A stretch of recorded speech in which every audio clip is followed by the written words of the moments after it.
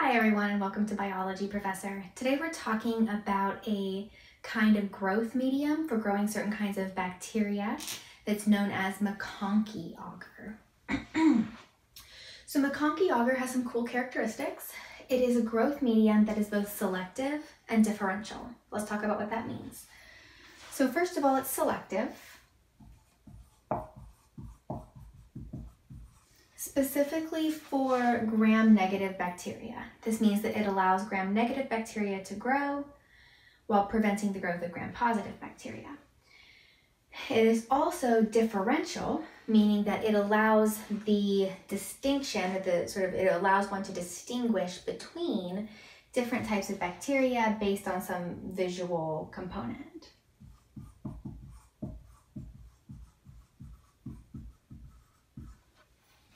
So in the case of MacConkey agar, it's differential for enteric bacilli that ferment lactose, meaning that it includes components that allow bacteria that ferment lactose to look different to the naked eye than those that do not ferment the lactose.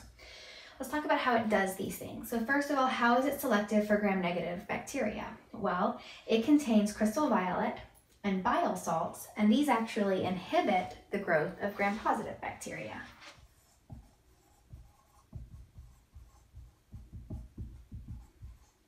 So that's how it inhibits some bacteria while allowing other bacteria to grow. In terms of being differential, it contains lactose, which is, of course, sugar, or a form of sugar, I should say, a type of sugar, as well as the pH indicator known as neutral red.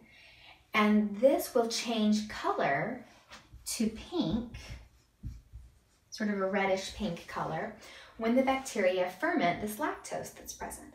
So the media, when it's just a sterile MacConkey agar plate with nothing growing on it, it's this yellowish color, but it contains lactose. And so if you put bacteria on it that can ferment the lactose, they ferment the lactose that produces an acid byproduct. The acid that is produced lowers the pH, and that causes the neutral red to change to this pink color, showing you that lactose fermentation is happening. And so there are, uh, so that, that that's how you're able to make that distinction. So to distinguish between the non-fermenters and the fermenters, and that's what makes it differential.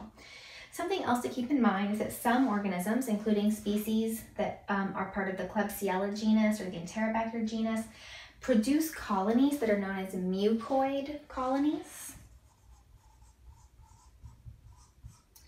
Mucoid just meaning that they're, they're kind of wet and sticky looking and that is due to the production of a capsule.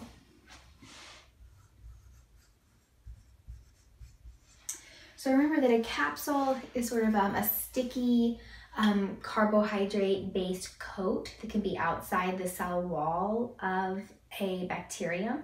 Um, often this helps it hide from the immune system, so makes it more virulent. So a capsule is considered a virulence factor. So Klebsiella and Enterobacter are some of the types of, of bacteria that can produce the mucoid colonies looking sticky and wet because they're using the lactose that is in this media to produce their capsules. And that's why, that's why they look like that. Another something to consider is that there is a special uh, type of MacConkey agar called sorbitol MacConkey agar. Sorbitol is a sugar alcohol, so it's a type of carbohydrate, and it this this sorbitol MacConkey agar contains additional selective components that will inhibit the growth of certain things but allow the growth of a specific kind of E. coli. And so this is used to isolate this specific kind of E. coli. And specifically, it is enterohemorrhagic E. coli. It's the strain that's known as O 157H7. And so these are basically different um, types of serologic identifications where this strain of E. coli has certain kinds of um, surface proteins. But really what this type of E. coli is known for is it's enterohemorrhagic, causing like bleeding in the gut. It is a really nasty kind of food poisoning that you can get. So it's frequently found in like contaminated um, food or water and can give food poisoning.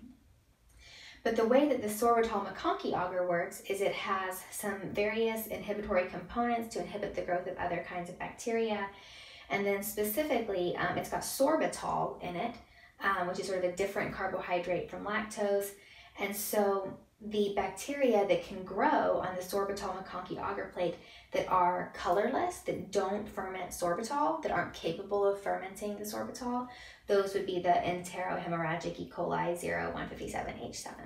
So this is a, just a special formulation of the MacConkey agar that can help in the isolation of that particular um, kind of nasty pathogen.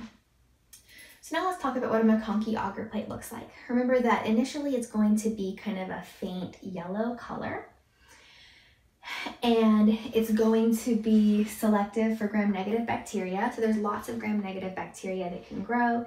E. coli, Klebsiella, Enterobacter, Salmonella, Proteus, Shigella, Yersinia. These are all types of gram-negative bacteria that can grow on a MacConkey agar plate.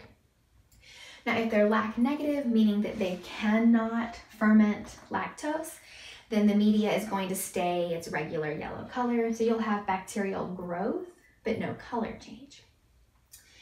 If the bacteria are lac positive, like these are, that means they can ferment the lactose, um, creating an acid that lowers the pH, causes the neutral red to turn pink. And that means that you will have um, sort of where this bacterial growth is, um, a pink zone. So the, the, the plate will turn pink wherever you have the, the lactose fermentation happening. If you're interested in learning about other kinds of selective and differential agar, think like uh, mannitol salt agar or EMB agar, then check out my playlist on um, bacterial growth media. Um, but that's it for today, and thanks for watching Biology Professor.